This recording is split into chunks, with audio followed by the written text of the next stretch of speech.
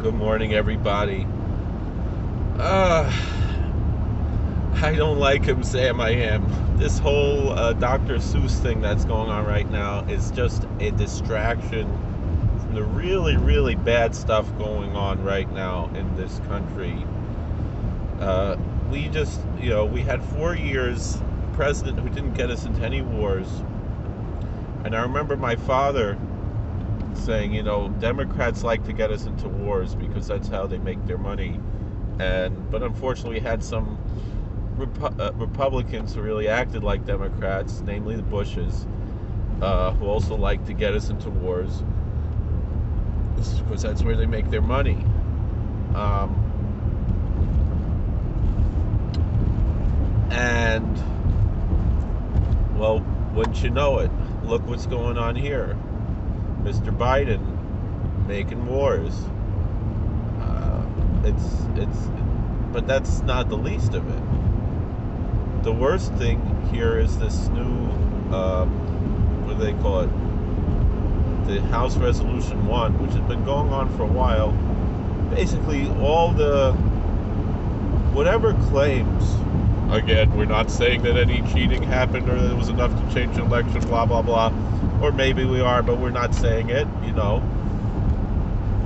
But whatever we, whatever the claims were about cheating in the election, the Democrats now just want to make it the law that you know to legislate this cheating that you can have uh, same day voter registration that you you have uh, uh, you can't purge the voter rolls of dead people.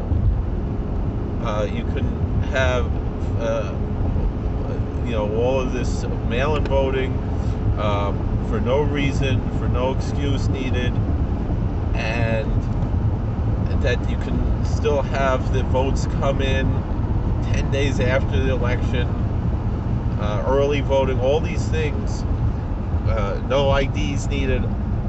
This is not about and then the Democrats are like, oh, you know, the Republicans just want to stop black people from voting. No. We want everyone who's eligible to vote, but we want our vote to count. We don't want people to be voting three or four times. And we don't want dead people voting. Obviously, it's not the dead people voting, it's the other people voting three or four times. We don't want our vote to be silenced in unfair ways. This is just ridiculous. And they have no shame. They have no shame. And this is going on, and we're being distracted because of Dr. Seuss, which I'll admit this is that's an important thing to talk about, but it's nowhere near as important as the end of our election system.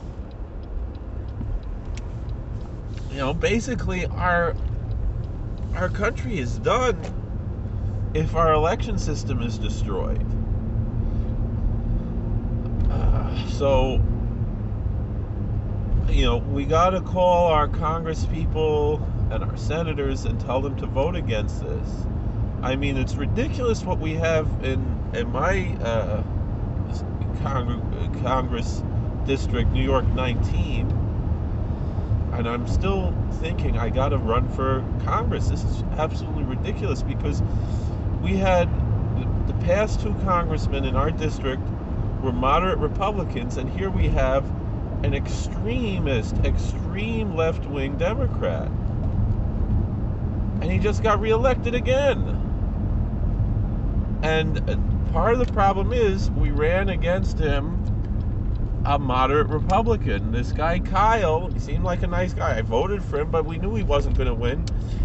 That lady Ola, she would have been a firebrand in the Congress, and and she won on the on election day. But again, those those absentee ballots came in, and oh, look what we got here. Look what happened here because they didn't want to let Ola win. They didn't want someone who actually had a chance to win the seat to be there. This happened already, and they managed to play their games with the absentee ballots. Uh,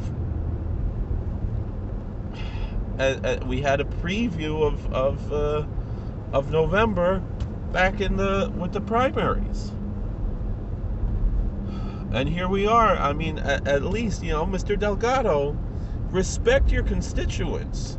You know, both of the Republicans, you know, recognize that New York 19 is a diverse district and they governed that way with that respect, but you're not governing that way. You're not, you're disrespecting the vast majority of the people in New York 19. And it's ridiculous. You're just working for Kingston and ignoring all the rest of the, the district.